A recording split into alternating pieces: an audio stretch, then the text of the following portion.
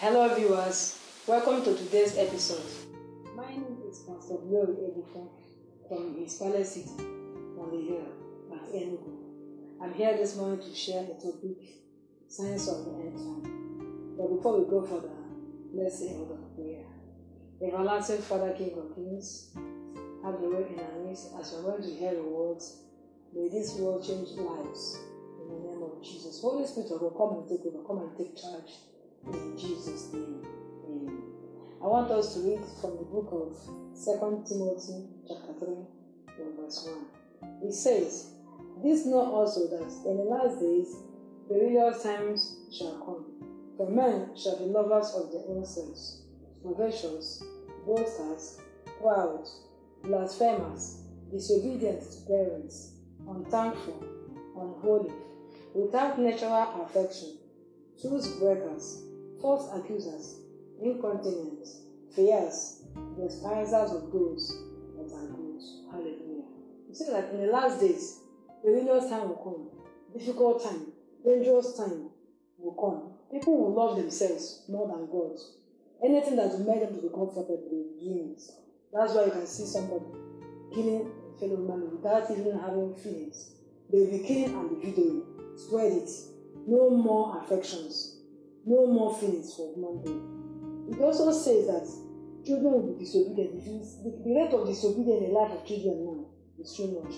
So what I'm saying is for you to know that it's signs of the end for you to know what to do.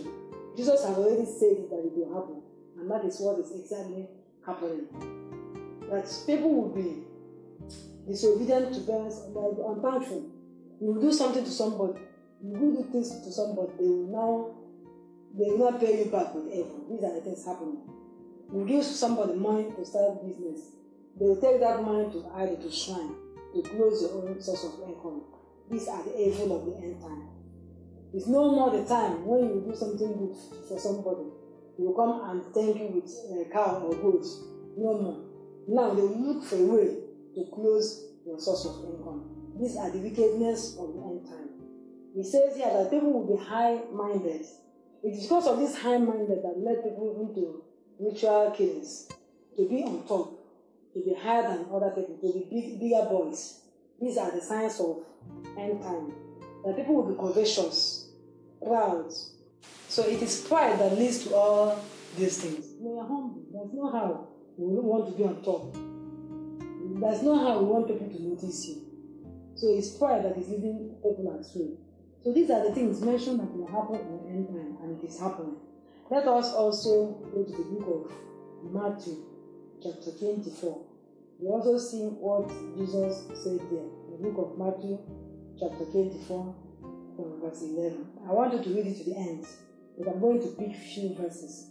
It says in verse 11, And many false prophets shall arise and shall deceive many, and because iniquity shall abound, the love of many shall wax cold. But he that endure, but he that shall endure unto the end, the same shall be saved. Say false prophets will come, and they are here. You can hear so many things. So I want you to know that it's not every pastor that is a real pastor. Jesus has already said it that false pastor will come. So when it is happening, know that it's false pastor. Stop uh, criticizing the body of Christ. Jesus has already said it that false prophets will come. They are just coming there to weaken the, the faith of people. They are just coming there to draw people away from faith. Because it says that, and because iniquity shall abound, the love of many shall wax cold. So many people are not coming to church now. When I go to evangelism, I, meet so many people that have stopped going to church because of the things happening there. Many false prophets are in the church now, extorting people, collecting people's money, stealing in the church. They are false prophets. So let us be mindful of this. We need to know the word of God. So that when anyone is happening, we know that Jesus Christ has already said it. Because all these things must happen. And he said that iniquity will abound. Things will never get well. The thing, worst things will be happening. They are the signs of end time.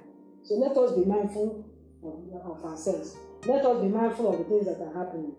Jesus has already said it. But he said something here.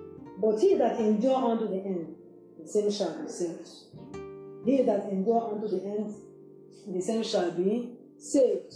So when you endure, when you still remain in God, when you remain in Christ, Because devil is doing all those things to draw people away from Christ. He is doing all these things for people to backslide, for people you know to become enemies of God. But if you endure and remain in God, you will be saved. Then verse 14 says, And this gospel of the kingdom shall be preached in all the whole world a witness unto all nations, and then shall the end come. We are getting to the end, but the end has not really come. But we are in the end time. Say that this gospel must be pushed all over the nation so that nobody will have excuse to give. Nobody will say, I did not hear it. Because there are so many evil, so many iniquities going on. You that have known Christ, it is also left for you to also tell people about Christ. To tell people what is happening. To encourage people in the faith. To encourage them so that they will know that this is the thing that Jesus Christ prophesied ahead of time. And not to draw back. The Bible says that they that draw back, that the love of God is not in them. It is now, this is the time to show God that we love Him. It is time to appreciate that finished work of Jesus Christ on the cross of Calvary. This is not time for you to repent. It is not time for you to be weak in the spirit. Because Bible says in the book of Revelation, you are neither those that are not that are not that are not either hot or cold, that is going to vomit them. So this is the season you need to be hot for God. It is the season you need to be vibrant for God. It is the season that you need to be deeply rooted in the Word of God. Because the Word of God is the only one, only thing that can encourage us. The Word of God is power. The Word of God is everything we can embark on man. And there's something the Bible says in the book of, in the same book of Matthew 24, verse, it says, And ye shall hear of wars and rumors of war. See that ye be not troubled, for all these things must come to pass. For nation shall rise against nation, and the kingdom against kingdom, and there shall be famine and pestilence. You see, the cost of things are getting higher every day. So when you, you see all these things, know that it is written in the Bible. It's normal, normal thing that will happen in the last days. So let us not be ignorant of the season we are in. The last days, end time is here. It's here. So prepare yourself. That's the essence of knowing all these things. For you to prepare yourself. For you to be properly guarded. So that things will not take you on unawares. So that everything will not come when you are not prepared. You need to prepare for that great day. My dear brethren, I'm encouraging us. We are running this race together. I'm encouraging us to get closer to God, to get closer to the Word of God, to have access to the Holy Spirit of God. He's the only one that can help us in this end time. May the Lord bless our souls in Jesus' name. Amen. Thank you so much. I believe that we all are blessed by the words which have heard. For prayer, counseling, and partnership, you can contact us through the phone numbers on the screen. I still remain your host, Pastor Glory Egbufor. See you in the next episodes. Thank you.